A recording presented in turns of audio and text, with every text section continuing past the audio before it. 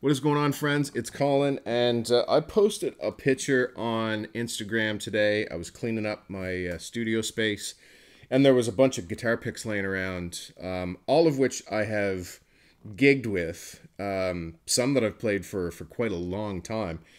And uh, I thought I would take a selection of them and just do like a blind demo shootout uh, just to show you how they differ and give you my thoughts on them.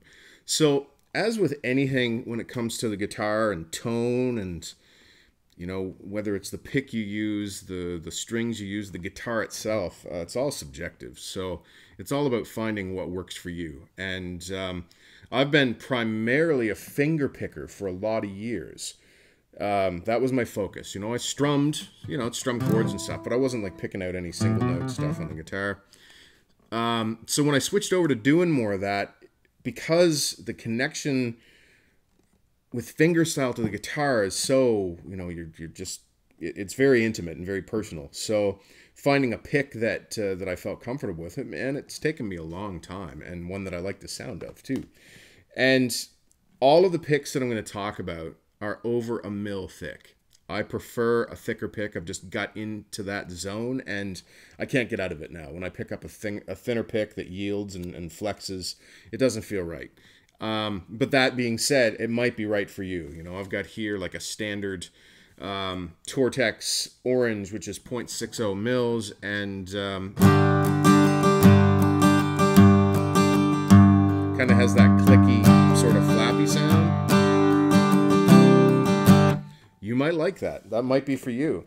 Um, I also have uh, in the in the distant past played uh, just you know your good old Yellers, the, the .73 yellow Tortex. A little less flappy, a little more balanced.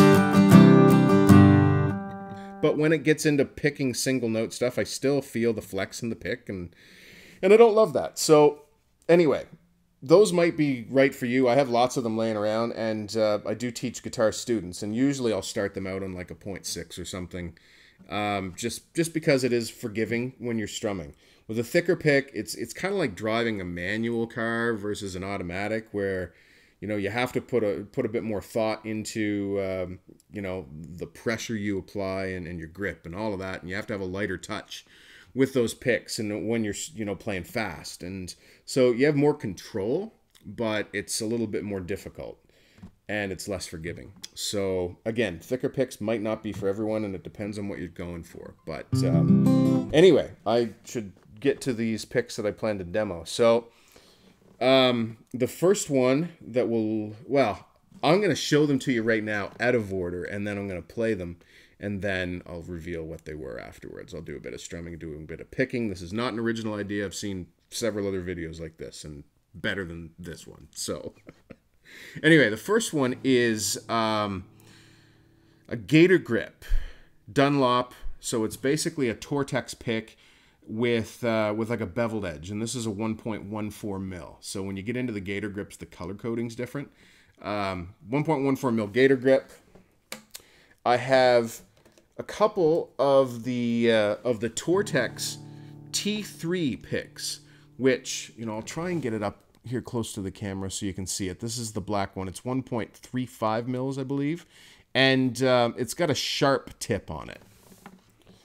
And I also have um, a blue T3, and that is uh, that is the 1.1.0. That's one mil with a sharp tip. And again, it's Tortex material. I also have a Dunlop Jazz 3 pick, really small, uh, pointed tip, and this is made out of carbon fiber, and it has their max grip texture on it, which is basically feels like cat tongue, and so it really sticks to your hands. And um, yeah, I have the good old fashioned uh, purple Tortex which is your your 1.14 and your standard Tortex. I have um, a couple of Primetone picks, and they're both the same thickness. They're both 1.13. One has the grip, the cat tongue on it, and is like translucent, and this one does not have the grip on it. but it is um, opaque and it has a slightly different feel and sound. So I'm going to demo both of these. And the Primetones are a little bit more expensive in that they cost like a couple of dollars a pick maybe. And they're beveled. They're they're sculpted. And so what that means is that they have uh, like a they come you know pre-sculpted with a bevel to to make it release off the string smoother like the gator grip although these ones are a little bit more shaped if you will um, i have this uh, ernie ball prodigy pick. I, I, picked up some of those to try out. And this is in a 1.5 mil. And, and again it's a, like a thinner pick with uh, with a sharp tip. And i'll put up a picture of all of these on, on my, uh, my sheet where I've sorted them numerically, which I do believe I've screwed up while I've been sitting here. And um, I also have this, uh, this chicken picks pick that I wanted to try out. And this is a thick pick. It's 2.6 mils. It's an interesting one, and, and we'll talk about this a little bit. But uh, it's just the standard size chicken pick, 2.6. And uh, then I have a blue chip pick which was a gift to me for Christmas from my wife. And that's a blue chip TD50. It's the teardrop shape, and um, it equates to about a 1.3 mil pick as well. So, got the blue chip in the mix here. So, yeah, I'm going to just strum a little something with each one of them. Then I'm going to pick something with each of them. And you know, uh, I won't. You won't be able to see what pick I'm using, so you can kind of hear the differences without being biased. And then at the end, I'll, I'll talk about each one and um, my thoughts on the pick, and hopefully some of that's helpful for you, helpful to you. So here's pick number one. Strum a bit, and um, yeah, I'm just gonna run through these. I'm not gonna talk.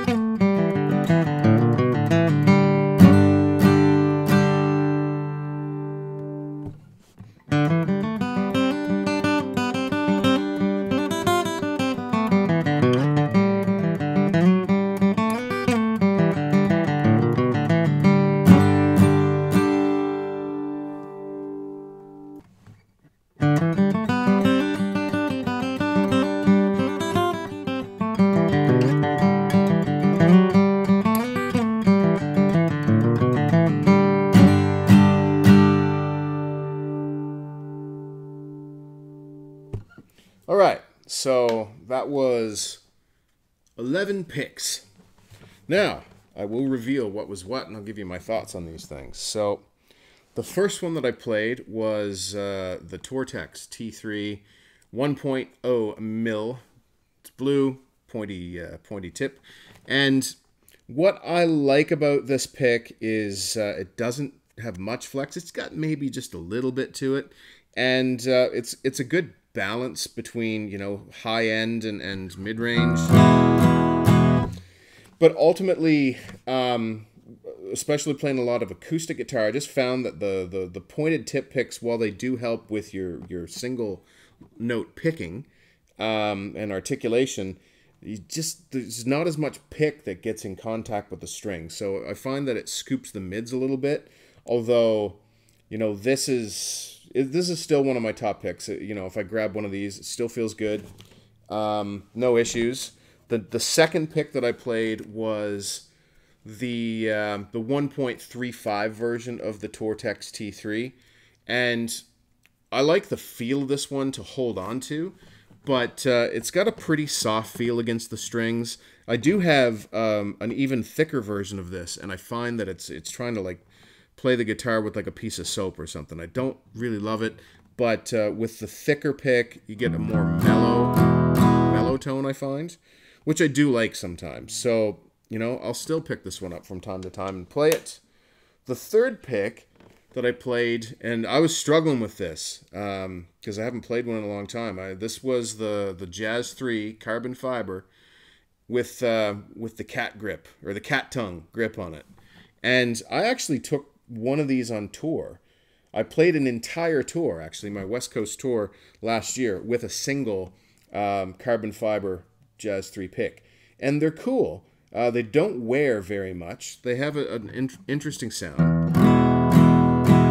But I like to move the pick around in my hands and palm it and play with my fingers and stuff. And I find that in a live situation, it's really hard to get the pick to move the way I want it to. So if you're the kind of person that kind of puts the pick in your hand and just leaves it there and it never moves, these do their job really well. But if you like to like move the pick around and maybe choke up on it sometimes and and you know leave a little bit more pick exposed sometimes, they're hard to work around in your fingers, and that's my issue generally with uh, with the grip technology of uh, that Dunlop has. But again, if having a pick that you put in your hand and it just stays there, these are really good. And uh, they have a unique sound, so they, they could be definitely be for you.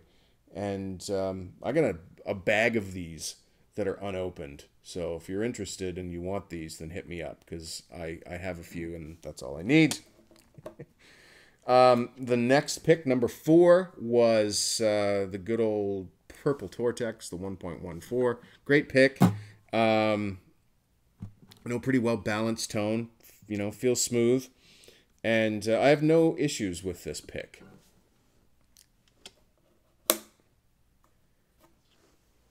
Pick number five was the Blue Chip TD50. And again, I was given this as a gift. We're going to do a rundown of what my favorites are at the end, but um, pick number five was the Blue Chip. And pick number six was actually the Blue Chip as well. Um, the first part I just played with uh, with the more pointed tip, although it's still round-ish. I don't know if you can see that very well. Um, it's not pointed. It's just just your standard teardrop, like a standard Tortex. And then I played with the round edge as well. Um, these are expensive. They're like 35 US dollars a pick. It was given to me as a gift. Got to get your money's worth. So played it both ways. Hey there, I thought I would just jump in from the future with a bit of a, a, philosophical update. And in listening back to this, all these recordings while I was editing the video, you know, the picks that are kind of in the middle among my favorites, they all sound very similar and it's tough to, to discern those differences. I find that listening to the recordings, it's easy to tell the picks that have more extreme tonal differences but I think that that's, uh, but when I'm playing them, it, it's very different. And I think that's because, you know, for a couple of reasons. One, you're sitting right on top of the guitar as you're playing it, and the heart of the sound is being projected forward. And you're experiencing a lot more of like sort of the nuance that goes on around the edges of the sound, if you will. So you're going to perceive those sonic differences a little bit more as the player. But I also think that tone, there's a tactile component to how we experience the tone of the guitar we're playing that it's inextricably linked from the audio. So if a pick feels great, then we're going to have a more favorable perception of the tone versus, you know, it can sound great to the listener out there, but if the pick doesn't feel good, then then our perception as a player is is impacted by that. And I think it's kind of like if if you hear somebody hitting a bunch of golf balls or baseballs, a lot of those are going to sound very similar. But if you're the one hitting the golf balls or the baseballs, like the feel of when you hit it right on the sweet spot is different, and and you're going to perceive how that sounds differently as well. I think. Who knows? But anyway, we'll get back to revealing those picks. Um, so the next two picks were the Dunlop Primetones. The first one was the translucent version, and they're both 1.3 mils, but I played them both because I find that the translucent one with the with the grip on it wears in a little bit more. Or maybe it's just because it's translucent I can see it, but it seems to have kind of broken in faster and better so that it has a smoother release off the strings versus the um, the one that is uh, doesn't have the grip and is totally opaque, and it has a, like a more plasticky feel to it, almost like it wants to bounce off the strings or something sometimes. Anyway, sounds good, feels good. Like these are like minute little details. All these picks are fine. Um, the next one was the 1.14 mil Gator Grip pick, and um, I I really like this one as well. It comes with uh, it's not like a sculpted bevel like the um, like the Primetones have. It's just kind of rounded off all the way around, uh, sort of so that it kind of rounds up to a point, and it's nice and balanced. Uh, it has a softer feel to it, both on the fingers and on the strings. So if I'm going for something more mellow, then I'll use this pick. And uh, again, doesn't flex much. The the next pick that I, I used was, I guess this would have been number 10, was the uh, Ernie Ball Prodigy, the 1.5 mil. And this one fits really nicely, you know, when I try it, when I palm the pick. It's a little bit slimmer, and it is also a beveled pick with a point. Now I find that it is like a softer feeling material as well, uh, even softer than, than the Tortexes. So it has like a, a, a, round, warm sound to it when you're strumming, even though it has like a pretty sharp point on it. I just find that when I'm picking single line stuff, um, I, it has a soft feel, and you may like that. Um, I don't. I like a little bit more of a snappier feel on the strings, personally. Um, but I was in a recording session earlier this year, last last year, and I was strumming something, and it required like a more mellow tone. And I, I had taken a selection of picks with my with me to the studio, and that wound up being the one that we used. So it, it is useful. It is just not one that I use every day. And the the last pick, uh, number eleven, was the chicken pick, and this is an interesting one. So it is you know, 2.6 mils thick. It is a thick pick, but it has this this major bevel to it and very sharp from the side. Like the edge is, um, you know, quite sharp. And as a result, the the pick just glides across the strings effortlessly. Whether you're strumming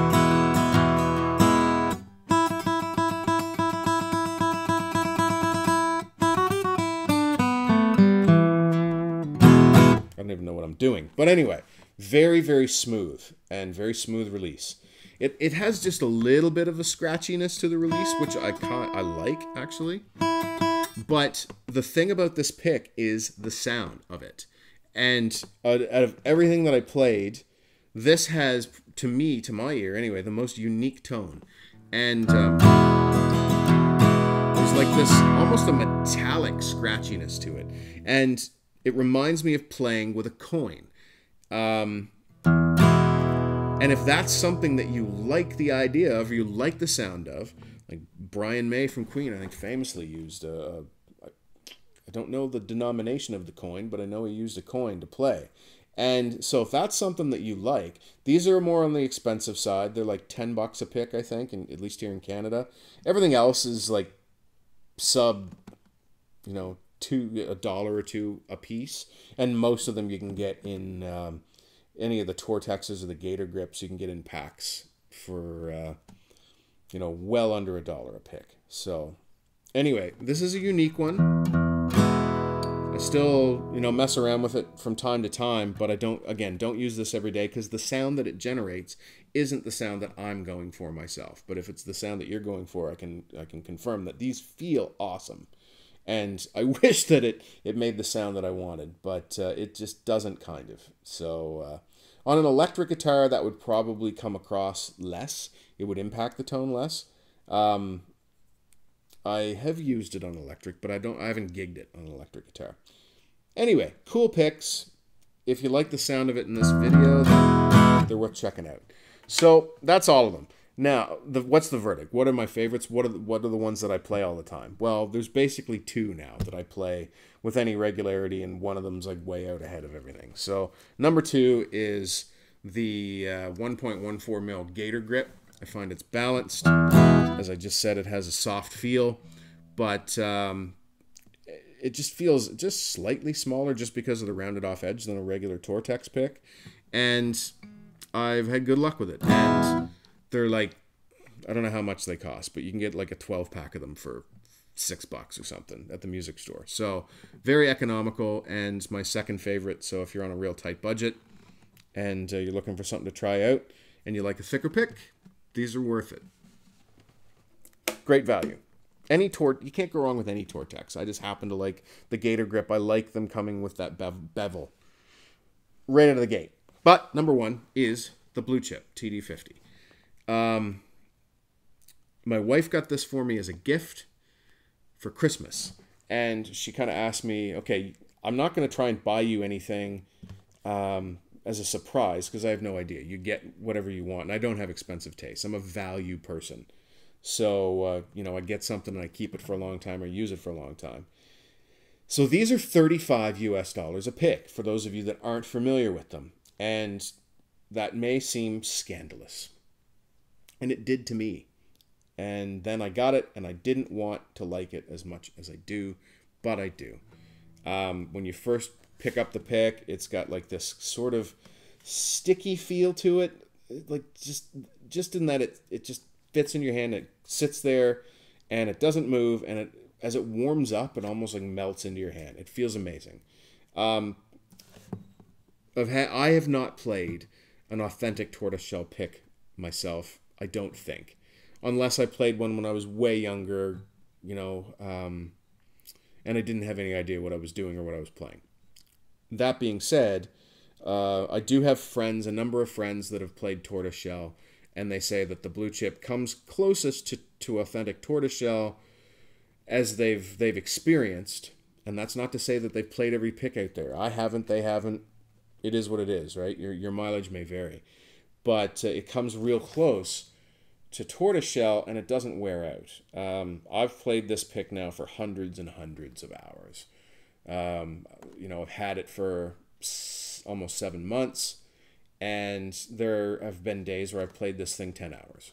So, you know, you do the math, many hours, and it's barely showing any signs of wear on the picking edge. Like there's some scuff marks on it from taking it out of my pocket and putting it in my pocket, but it's really durable and um, it sounds amazing. It feels amazing.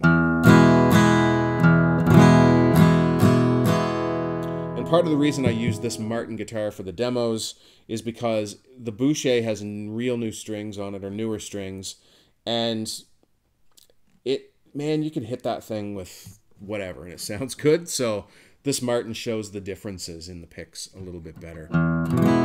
But with the blue chip, uh, you know, having played this, nothing else feels quite right anymore. And um, so I wound up actually buying myself a second one as a backup because if I lose this one, I don't wish to live without it. So, yes, it's expensive, but if you look at it, if you buy, you know, a really nice guitar and by nice, I don't necessarily mean price wise, just a guitar that you really like the sound of and you're a picker, then, you know, you wouldn't buy a really nice violin and then necessarily settle for, you know, a cheap dollar store bow. Not that I've seen violin bows at the dollar store, but you know, you know what I'm saying. So it I love it. It is the best but there are inexpensive alternatives that offer great sound and good value. And I think I've gone through some of those here. So if you have any questions, leave them in the comments, and I'll uh, I'll be happy to uh, to give you my thoughts. And you know, this is almost like a religious discussion, right? Like some people are like, yellow Tortex is all you'll ever need, and um, you you can accomplish a lot with those. But it doesn't feel nor sound as good as this to my ear, and uh, the main thing about guitar is um, does this make me a better guitar player? Not, you know, when I first picked it up, it actually took it made me worse for a little bit because it's different. But the way you get better at guitar is to to play more and to, to play in an inspired way. So it doesn't matter how much the guitar costs. If you can't resist picking it up and playing it when you see it, then that's the guitar for you and uh, it's going to make you better because again like um, you're going to be inspired and the blue chip made me better because it, it it felt right. It was the feel that I, I was missing. So, you know, since I got it, my flat picking's gotten better. But that's just because I love the just the the the process of playing the damn guitar with it and and learning and, and whatnot. And the Primetones were like that for for a few months before I got the blue chip. And you know, when I made the change and tried out like the 1.14 mil Gator grips, same thing. Like, oh, this is new and I like this, and this is an improvement over over what I was playing before. And it's been kind of a progression. And all of these have made it on the stage with me. So I, I like them all. You can't go wrong. But in my opinion, you know, if you like nice things and you don't lose picks, you can buy an awful lot of picks looking for the one. And for me, the blue chip was the one. So, and I've certainly spent more than 35 US dollars experimenting with other picks. So, what can I tell you? This has been a long ass video, and only the hardcore guitar nerds are still here. So, thanks for watching, and uh, I'll talk to y'all soon. Bye.